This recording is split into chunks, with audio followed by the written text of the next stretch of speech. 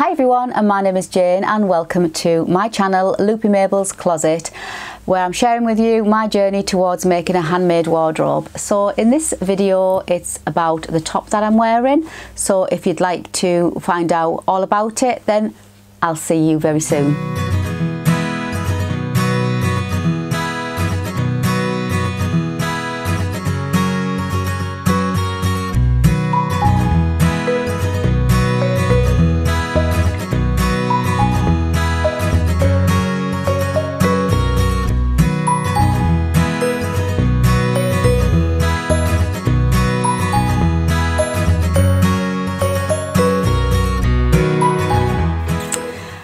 Welcome back everybody and if you're very new here please I would love it if you could hit that subscribe button. If you hit the notification bell then you'll never miss out on any videos that I do bring out.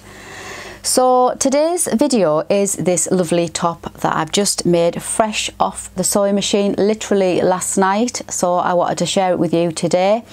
I've made it in conjunction with the hashtag sew a top which was set by Claire over on Penguin and Pear and it literally was just to sew a top and share it by the end of August. So I'm just getting mine in in time. So the top well the top is by Peppermint magazine and it's in conjunction with In the Folds and it's the ruffle sleeve top. So I'll just show you a picture of the top the diagram of the top. Hope you can see that okay. And it's just a straightforward v-neck top with ruffle sleeves and two bust darts. So you just go onto Peppermint Magazine website and there's loads of free PDF patterns that you just choose and just download, print them off and then off you go and you can create. And this is skill level one and a half to two. So I thought this would be really simple to make in no time at all. Well, it was simple to make. It but it took me longer than that I thought it would do because I think it uses, well, it recommended you use the French seam method. Now, I didn't use the French seam method when I made this.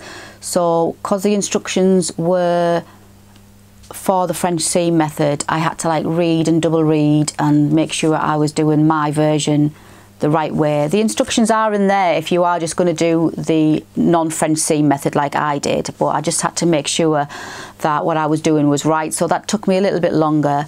Uh, but I really thought I'd have it done in a few hours because it just, you know, it's, it's just a straightforward top with some ruffles on the sleeves, v-neck. But because it's got the facings inside and I shall show you some of the diagrams. I just thought it was a little bit, there's some of the diagram of the facings. I just thought it was a little bit fiddly and it's probably not how I would have done the facings. I'm not sure. Mm, I'm not sure. But anyway, I, I, I followed the pattern to the letter and I did it exactly as it said. I just thought it was a little bit fiddly and a little bit confusing or maybe it was just me. I did lengthen the top I didn't because the length of the pattern comes to on your just about your hip your hip bone. And I just wanted mine to be a little bit longer than that. I'm not keen on short um, on tops that are too short. So I lengthened it and I used uh, a simple method. I got a piece of A4 paper folded it in half and that's how much I lengthened it by. And I just attached that to both the front and the back. And on the pattern instructions there is the um, the line where you can lengthen or shorten it. So I just followed that, really simple, and I just lengthened it by the width of half an A4 piece of paper. So that was really simple. I made a note on the back of the instructions, which is good because you got like um, like an information sheet at the back and then you just add any notes that you've changed or you've edited or what did you find was a success or what you're most proud of is anything you would do differently next time. Uh, adjustments if you made any and I just thought that was really useful. So I did do a few different things obviously to the pattern. So I lengthened the pattern and I also did my version of stitching it. I didn't use any French seams at all so I made the size recommended. It did say if you're in between sizes, go up a size. So I was in between sizes, so I did size F. And it has come out quite roomy. The darts are like are about right, but it is quite roomy here. So I probably could have got away with doing the next size down, uh, maybe for next time. Um, but I'm really pleased because I do struggle with sleeves because I, I, do have quite, let's say, chunky arms and I do struggle with sleeves fitting me. And I thought this may be um, too tight on the arms, but no, it's absolutely fine. There's enough room and I've got a long sleeve top on underneath and it's gone on really well. So I've made a note on the back of the pattern sheet that the sleeves fit me perfectly.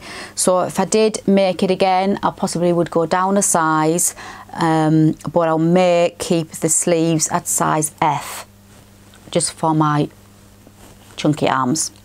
So if you're wondering about the fabric I've used, it is vintage bark cloth, which I had in my fabric stash for years.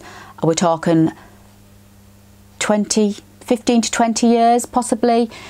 There, it used to be a pair of curtains that my nana gave me. So, and my nana has been in heaven now for quite a few years, and at least 15, 20 years now I've had this fabric, and I never used it because I didn't think it was enough enough to do anything with. Um, but so it's like two curtains. One was longer than the other. I don't. I think she had these in her pantry, her old pantry that she used to have, and I've still got a little bit left. And I'll just show you. It's still got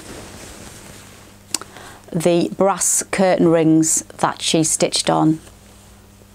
She made these curtains, and it's still got the brass rings on the top. So when I was cutting it out yesterday, it, it, it made me smile because I thought, oh, I thought of my nana and her stitches are still there on the brass rings.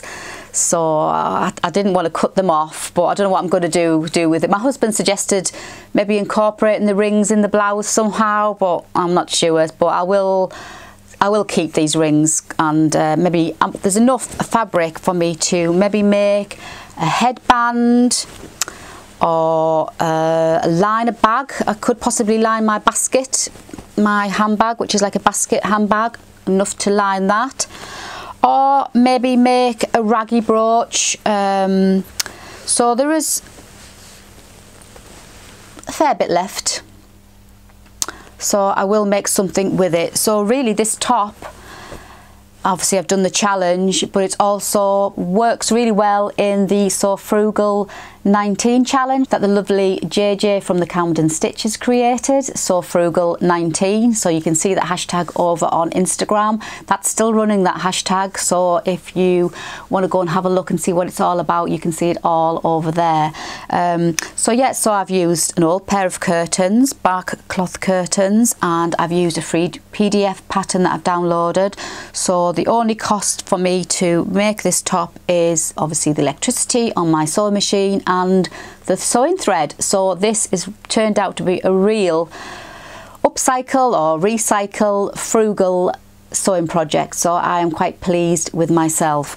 I used um, I didn't have enough, I didn't think I have enough to do the facings in this and I also thought that by adding the facings in this fabric because it is quite a thick fabric that it might make the top a little bit too rigid and a little bit too sturdy. Um, so I used some quilting cotton fabric that I had to do the facings and I shall show you it on the bale here. I've still got lots left on the bale. So I used that fabric. I thought it coordinated quite well. And because it's only a light quilting cotton, I thought that wouldn't make it too bulky. So I used that. And another thing I added to the top was my own pockets because I do like to have a pocket. So I shall just show you the, if you can see, sorry, I have to stand up and show you I made some little pockets there and I used the same fabric to line the pockets with. So I've got two pockets. So that was another adjustment I made. And I'm happy with the length and I'll show you some pictures of me swanning about in the garden and I'm really pleased with it. It's true vintage style. I love the floral, I think they are hydrangeas, I think, if you can tell what they are. I'm sure the hydrangeas, if you think they're not and there's something else, please let me know in the comments box below. Um, and I'm really pleased, I really do love it. Yeah, so this is going to get really well worn in the autumn and winter, definitely. And this is the second item of clothing that I've made incorporating some old curtains. I do have another video, I'll put the details up here somewhere on my revamp of my Carson dress and I revamped the bodice because I wasn't very happy with it and I put some Sanderson curtain material on that. So this is my second upcycle curtain sewing project so I'm quite pleased. So would I make it again? Yes I would definitely make it again and now I have made it the first time I may make it again in obviously a finer fabric that maybe has a bit more drape because I say this is curtain like curtain material so it is a little bit more sturdier. I still love the drape on this, sturdy drape and I think it fits in nice with obviously the fabric and the design so if I made it again I possibly would try the French seam method and maybe not put pockets in the side and maybe put some patch pockets on the front I definitely make the length the length I've got now because I do like that little bit more in length in tops. I don't like tops that sit on the hip, but it's definitely shorter than my normal ones because normally I go for like a smock length. So this is shorter and I'm quite liking this short, this shorter length for me anyway. I do like these colours too because they're very um, earthy tones and um, rustic with the dark greens and the burnt orange. Um, so I'd love to get another top like this in maybe in that lovely ochre mustard colour and I think I've already got one in the dark green. So this top is going to be absolutely brilliant to go with things that I've already got. And obviously it'll go great with my jeans a denim skirt with some tights underneath. So it's going to get well worn. Yes so I hope you like this top as much as I do. Would you um, upcycle a curtain or have you have you ever upcycled a curtain or a tablecloth or anything else? If you have I'd love it if you could share in the comments box below what you've done. So what do you think of this top? Do you like it? I hope you do. Uh, if you did like this video, please don't forget to give me that thumbs up. And like I said, if you haven't already subscribed, I would love it if you could subscribe and follow me along on my dressmaking journey and don't forget I do have a sister channel Loopy Mabel Crochet if you love to crochet too so please take a look over there as well. But until the next time, as I always say, please take care and happy sewing.